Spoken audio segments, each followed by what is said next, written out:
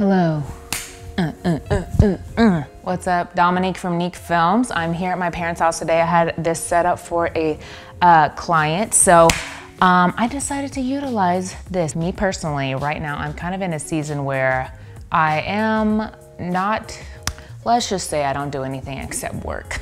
right now I'm so focused on developing my company, developing myself. People get frustrated at me like, man, you working all the time. You always editing, you're always doing something because I'm working towards something and I have goals in mind and it's okay right now. I've, I've learned to accept the season that I am in. It can kind of seem like you're a Debbie Downer, you're not fun, you don't go out and I mean, I know I'm fun. I'm fun. I've just spent a lot of time developing what's going on in my life, developing right now for the future.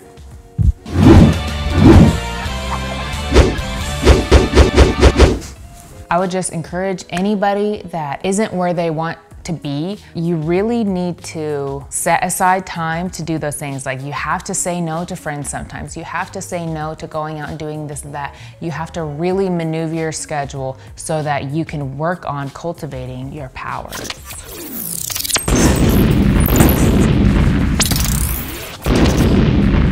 Maybe I'll do some cool effects there, maybe I won't.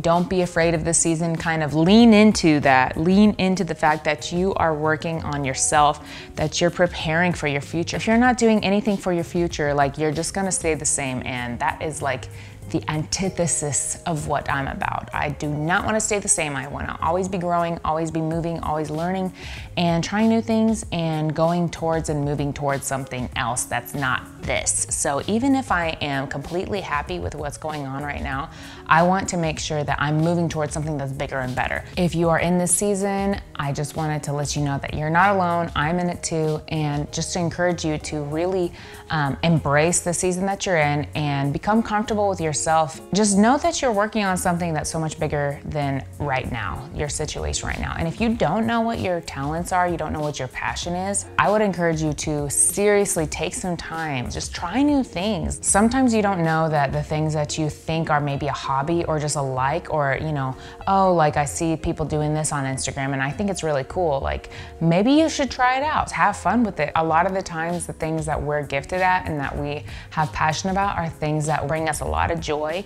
Um, and so that's how I've been kind of like shifting my life about even items that are in my life, like whether it's clothing or um, just like furniture pieces. Like if it doesn't bring you joy, then like it's it's just kind of cluttering even your mind space or actual space. So try to get some of those things out of the way and then maybe that will make it easier for you to find what it is that you want to do in the future. So that's all I have for you today. My dad's gonna come up here any second because I told him three minutes and it's been not that. Comment your thoughts, share what you are passionate about. It's kind of fun to like read all you guys talking about different things. And then yeah, so like, comment, subscribe, and we'll see you next time.